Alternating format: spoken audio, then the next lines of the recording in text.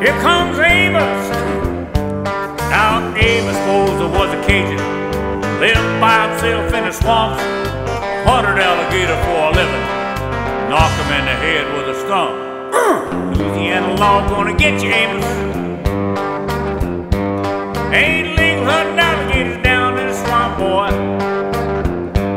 Now everybody blames this old man, making him as mean as a snake. When Amos Moser was a boy, his daddy used to use him for alligator bait. Tie a rope around his waist and throw him in the swamp.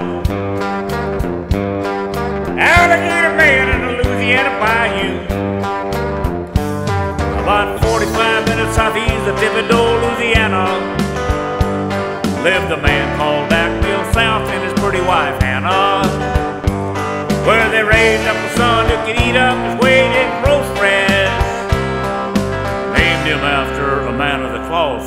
Called him Amos Moses. Yeah, yeah. Now the folks around South Louisiana said Amos was a hell of a man. He could trap the biggest, the meanest alligators and just use one hand. That's all he got left cause the alligator bit it. Ha, ha, ha. Left arm gone clean up to the elbow. Well, the sheriff got wind at Amos in the swamp trapping alligator skin. So he sunk in the swamp gonna get that boy. He never came out again. Well, I wonder where the Louisiana sheriff went to. You can sure get lost in the Louisiana bayou.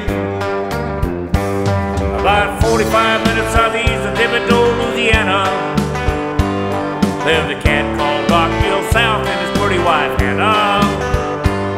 Where they raised up son that could eat up his weight in cornbread. Named him after a man of the cloth. Called him Amos Moses. Sit on him, Amos. Knock the hell out of him, Amos. 45 minutes southeast of Thibodaux, Louisiana.